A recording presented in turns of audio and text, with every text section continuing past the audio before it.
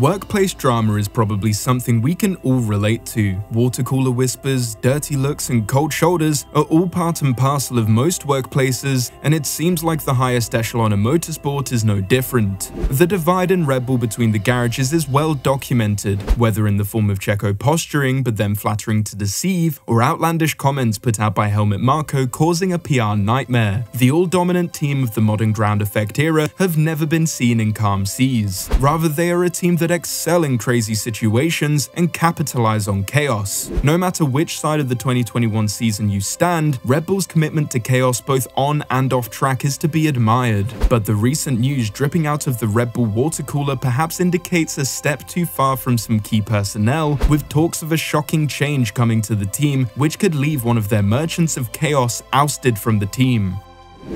Want to know whether Helmut Marko is finished at Red Bull? It could really be the end for him, but just how did we get here? And stick around to the end, because things at Mercedes seem like they'll get much worse before they can get better. Helmut, Helmut, Helmut, just what are we going to do with you? If you cast your mind back to Marko's comments about Perez, no, not that one, the other one, or maybe the other other one. You'll remember that there was a rather eerie amount of silence from Red Bull as it seemed like everyone but the Milton Keynes racing outfit spoke out on Marko's ignorant comments, with it waiting until the next race weekend before anything was said. But even then, it wasn't even really said by the team, but by Perez himself. Red Bull later came out to say that they don't condone Marko's behavior, not in an official statement mind you, but even then it all just seemed a bit toothless.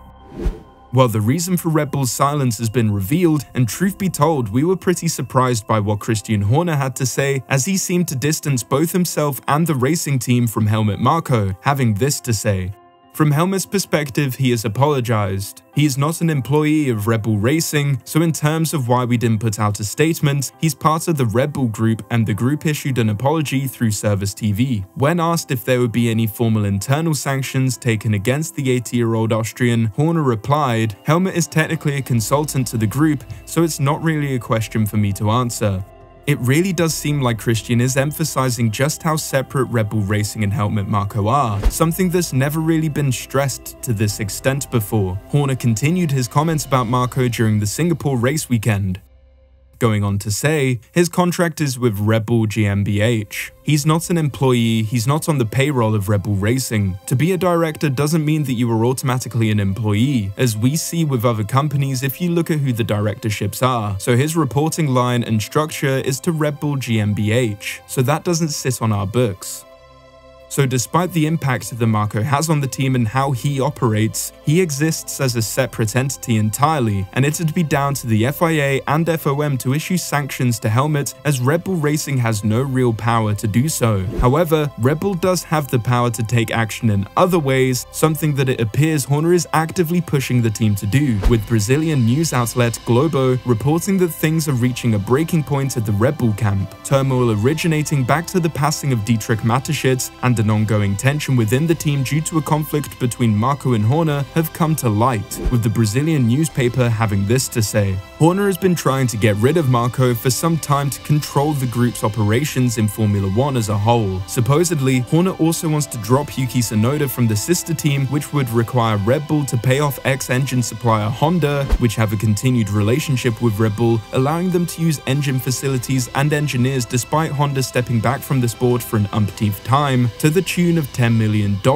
which as the newspaper says is something that Marko has been trying to prevent to avoid future friction with the engine supplier. Marko is in serious danger of losing his position within the team, with a meeting scheduled for the coming week to decide his fate, the report alleges. As well as Horner wanting him gone, Globo also reports that Oliver Mintzlaff, another key figure in Red Bull Racing, being the CEO of corporate projects and new investments, is in agreement about binning off the Austrian advisor. I guess we'll just have to wait for the revelations that will come to light after this internal meeting, but it really isn't looking good for the rebel advisor as it seems like the hyenas are drawing in ever closer. Horner's public statement about Marko's comments, in short saying that they weren't right and lessons had been learned by the 80-year-old, and publicly distancing the team from him and his continued ignorance when partnered with these rumors paints a pretty damning picture for the 80-year-old. The condemnation he received in the paddock from the public, drivers, and team principals seems like it may have given Horner and the other higher higher-ups at Red Bull looking to move Helmut on the ammunition that they need to make the final push. In the sport's continued movements towards diversity and respect of other cultures, there isn't much room in the sport for continued ignorance, and there's only so many lessons to be learned that a team can give someone before it just gets repetitive and brings into question whether the team is willing to act just past token gestures. I think Alfa Romeo managing director Alessandro Alunni Bravi said it best with his reaction to Marko's recent comments.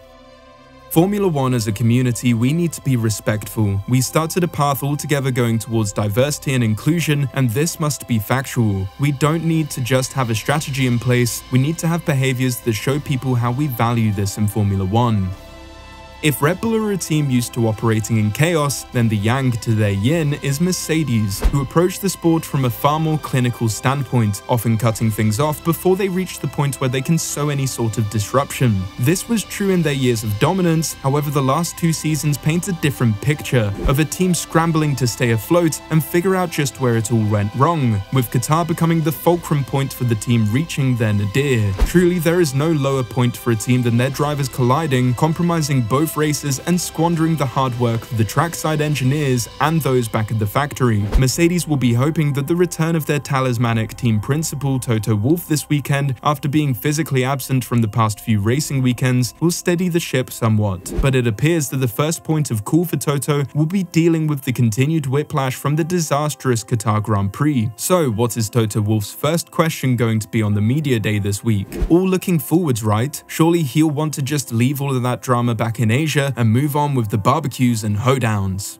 Well, sadly for Toto, no. It's going to be an interrogation about the past few weekends, especially with it coming to light that Hamilton may face further punishment beyond an already 50,000 euro fine and public scolding, with the FIA announcing, the FIA is revisiting the incident in which Lewis Hamilton crossed a live track during the Qatar Grand Prix. The FIA notes that Lewis was apologetic during the subsequent steward's hearing into the incident and acknowledged that the crossing was a serious safety breach. However, in view of his role model status, the FIA is concerned about the impression his actions may have created on young drivers.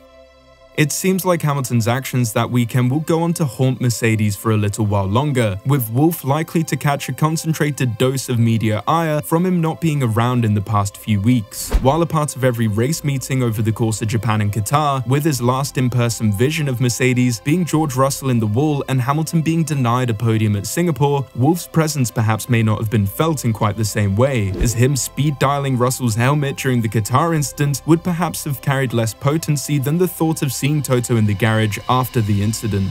So hopefully, Wolff can work on steadying the ship as Mercedes now look to take second away from Perez in the Drivers' Championship and continue to secure second in the Constructors as Ferrari look to take back a spot which should realistically be theirs if it weren't for their continued blunders and lack of capitalizing potential. Meanwhile, a penny for the thoughts of Aston Martin.